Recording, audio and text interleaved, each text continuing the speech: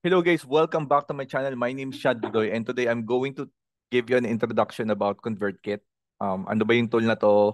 Um, para saan ba to ginagamit? No? Um, ano ba yung kahalagahan nito? Ano ba yung advantage nito? At bakit ito yung ginagamit ko? Sa lahat ng ESP or email service provider na pwede nyong gamitin. No? Pero hindi itong pinakamaganda. Pero ito yung ginagamit ko eh. so ito, bibigyan ko kayo ng introduction uh, today, no?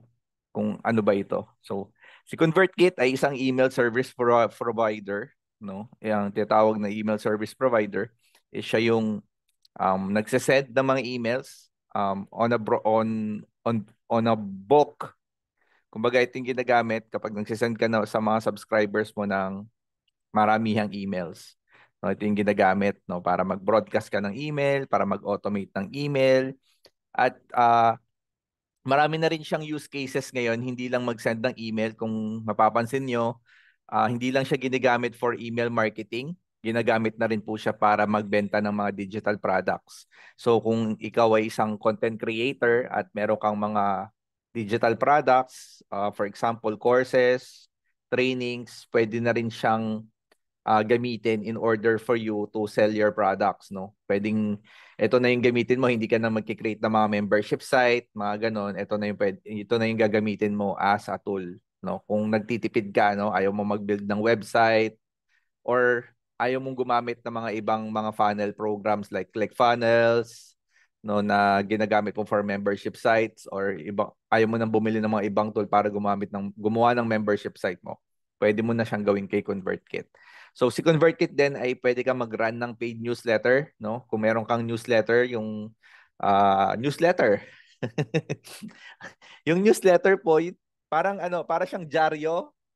Uh, 'di ba dati may mga newsletter, 'di ba, hard copy. Eh ngayon kasi the mga digital products na na uh, na ginagamit online, 'di ba? Puro digital na. So if you want to run uh, mag, ng dyaryo or newsletter or programs na or products na digital, magsisend ka na, kunyari, weekly, magsisend ka ng information, ng mga valuable information about your services, pwede ka mag-run dito kay ConvertKit kung madali na. So, para saan ba si ConvertKit? ConvertKit is for, makikita natin dito, ConvertKit is for artists, mga artists, authors, bloggers, coaches, course creators, marketers, musicians, newsletter creators, podcasters, YouTubers. So panghuli ako, YouTubers.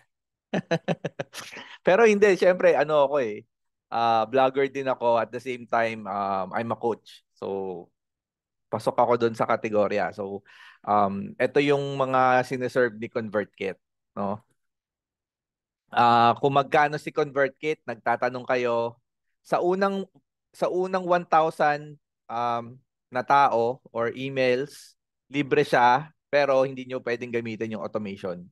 No? Ayan, no? free for up to 1,000 subscribers. Kung 1,000, less than 1,000 subscribers nyo, libre siya. Pwede siyang gamitin. No credit card required. Um, unlimited landing pages, makakagawa na kayo ng mga landing pages, pero hindi kayo pwede mag-automate, no? Walang automated email sequences. Broadcast, broadcast lang. So, yan. Pero pag um, let's say gusto niyo gumamit ng automation pero less than subs, 1,000 subs kayo or or in this case kunyari 1,000 yung subscribers nyo, yan nakalagay dito. Gagastos kayo for creator is $25 per month, no? So yan, magagamit nyo na yung mga automation, ng mga kung ano-ano pa, live chat and email support. Meron kayong live chat at email support kapag nangailangan kayo ng tulong, no? So yung Creator Pro, I'm not suggesting na gamitin niyo to. Siyempre, pag, pagbaguhan, no, hindi pa naman kayo kumikita or mga businesses na hindi pa masyadong kumikita, I'm not advising to buy this because it's kind of expensive. All you need is the um, creator lang, hindi yung pro. Kasi hindi pa kayo pro eh. ano ka ba, Chad? Lakas ng tama mo so yan, yan yung mga tao na gumagamit sa kanila, no? At ako din. Okay, getting inside ConvertKit, no? Uh, inside ConvertKit, ito yung makikita nyo, ito yung panel. No? Ito yung panel, ito yung makikita nyo. So, um, nakikita nyo yung broadcast ko, di ba? Ito yung mga email na nasend ko na sa email list ko, di ba? Ito yung ito yung mga title, no? Dito nyo rin makikita yung data, yung mga resulta, kung ano yung nangyari sa emails nyo, no? Kung ilan ba yung nag-open, ilan ba yung nag-click, ilan ba yung nag-unsubscribe, kailan siya sinend, no? At uh, marami pang iba, no? So, under this panel, madali siyang intindihin. Uh, kagandahan kay ConvertKit, hindi ka malilito konti lang yung panel niya, no? Um, sa Grow, makikita mo yung mga subscribers mo. Makikita mo rin yung mga landing page na ginawa mo tsaka mga forms. Um, and ito, hindi ko masyadong ginagamit yung creator profile kasi hindi talaga ako dito nag ano eh, nagtitinda ng course eh. Meron ako course pero hindi ko siya dito tinitindang platform. Pero pwede rin, no? So yun lang. And sa send, pwede ka na mag-send ng broadcast, kung meron kang mga automated email sequences, pwede mo ditong gawin, no? So, mayroon din siya mga email templates na, na naka-ready, no? Kung meron kayong idea, like gusto niyo gumawa ng mga email templates na maganda, no, for your clients, yung may medyo may mga picture-picture. Ito, kasi ako hindi ako masyadong ma, ano, maano sa design kasi pure text-based lang ako. And I want my emails to be simple. Pero kung gusto niyo naman ng maganda, wala namang problema, no? Pwede naman yung kunin dito. So, yung automate guys, dito kayo nagse-set ng automation, no? I-discuss natin 'yan uh, sa mga susunod na video. Pero dito, uh, dito mag meron na kayong kakayahan mag-automate. Ayan. Under automate, uh, create kayo ng mga automation kung paano niyo i-automate yung emails, no? Kung paano niyo i aayusin kung paano pumapasok yung mga tao sa automation nyo, sa email marketing nyo. Kasi Siyempre, pag malaking brand, maraming mga audience, maraming mga subscribers, pag hindi nyo in-automate yan, no, wala kayong proper automation, wala kayong proper tagging, magulo yung buhay nyo. So, yun lang. So, i- pag-uusapan natin later on sa mga videos. Uh, on this video, I'm just going to give you an introduction para at least alam nyo kung saan kayo pupunta. No? Pag nanood kayo ng video ko, alam nyo kung saan kayo pupunta ng mga uh, kung kung saan kung saan kung gagamitin niyo si ConvertKit or for your clients, alam niyo kung saan kung ano yung hahawakan niyo, ano yung pipindutin niyo. That is the purpose of this video. So, um pag kay uh, kay ConvertKit din, pwede kayong gumawa ng mga digital products niyo kagaya ng sinasabi ko kanina. At pwede na rin yung i-integrate yung payment, no? Kunyari, kung gagamit kayo ng Stripe or PayPal, pwede niyo siyang i-integrate doon kay PayPal para kung may mga PayPal yung client nyo or yung mga mga customers nyo, diretso na si PayPal manginingil sa kanila, hindi nyo na kailangan gumamit ng uh, GCash or bank transfer, mga ganun. So, um, pag meron kayong ano, meron kayong ConvertKit, pwede pwede rin yung matutunan kung paano gamitin to under the Creator University. So, yun lang. So, puntahan natin yung isa-isa. Under broadcast, pag pinindot natin yung send, no, kunyari magse-send kayo ng email, under broadcast, dito nyo sinesend yung email. Send an email to some or all or for your audience and to your public feed. So, ibig sabihin lang po noon, kung kadalasan, di ba, mag, magsasend ka ng email, like magsasend ka ng broadcast sa mga email subscribers ng clients mo, no? Dito mo ginagawa yon sa, sa, sa broadcast. So, ang interface niya, ito yung makikita nyo. Ito yung makikita nyo na interface, no? Kung na pwede kayo mag-create. Kung makikita nyo dito on the right side, di ba, new broadcast Ayan, new broadcast. Pwede kayo ditong gumawa. Kunyari, ito, di ba? New broadcast. May plus sign, di ba? On the right side. Pag pinindot nyo yan, lalabas yung pwede nyo, ano, yung broadcast na pwede nyo gawin. So, pwede, pwede na kayo maglagay ng subject line, kung anong subject line nyo, and then pwede nyo na i-paste dito yung kung ano yung nasulat nyo na email. No? Kadalasan kasi hindi ko naman dito sinusulat yung email. Sinusulat ko muna siya sa papel or sa document. Then pinipaste ko lang siya dito. Para madali. Kumbaga hindi ko siya naka, hindi naka-open tong email broadcasting tool. Pero pwede naman no kung gusto niyo madalian kayo, dito niyo na rin i-type yung storya, no?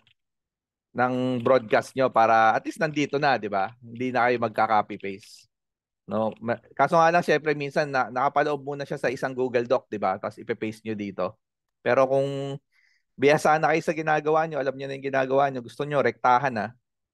Pwede kayong pumasok dito sa uh, pwede niyo nang ipa pumasok sa send broadcast dito niyo na i-type kung anong gusto niyo sabihin then i-shoot niyo na yung email niyo. So yun lang, dito yun nangyayari sa create broadcast. Sa email sequences naman, so dito under dito, dito niyo makikita yung mga email sequences na gumagana, no? May mga gumaganang email sequence kagaya ko, I have an email apprentice email sequence na ino-automate ko yung email ko. So dito under email apprentice email sequence na lahat ng sa-subscribe sa sa website ko, nare-receive nila yung mga emails automatically. So dito ko ginagawa 'yon, no? Naka-automate siya. So right now, I have a 20 day 20 day 29 day email sequence. Kapag may nag-subscribe, makaka-receive sila ng 29 emails every day or each email like one email per day for the next 29 days. So yun yung mangyayari. So under uh, under um, sequences. Under automation naman po, no, there are two ways how how to create automation. One is the visual automations and the two is the rules. Dalawa yan. So yung visual automation, um, eto siya. Ayan, naglo-load lang. So eto siya, so visual niyo siyang nakikita ano ba yung ano ba yung nag-automate. Kung makikita niyo dito, may drip may top to bottom, di ba? From top to bottom, kumbaga, ang automation ko, 1, 2, 3. Kumbaga, sunod-sunod siya. Dito, dito nangyayari yung gusto kong mangyari. Kumbaga, nakikita nyo, di ba, interconnected siya ng lines. Ibig sabihin, from, ito, number 1, anong unang mangyayari, number 2, number 3. Yun yung visual automation. Kung ba nakikita mo, nagdi-drip siya from top to bottom.